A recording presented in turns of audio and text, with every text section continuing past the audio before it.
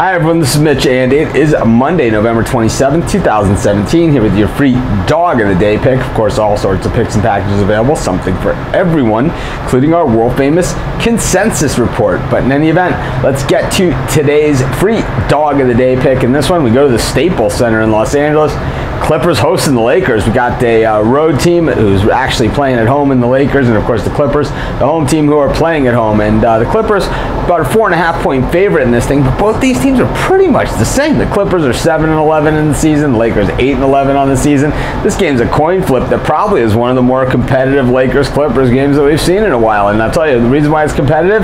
Neither of these teams are any good. I think the Lakers are a team on the way up. The Clippers, I'm not really sure what way they're headed, but I'll tell you one thing. I'll take take the four and a half points. I'm going to take the Lakers in this one. I'm going to call them my dog of the day. This is Mitch. Thanks for joining me. Have a great day. We'll see you tomorrow.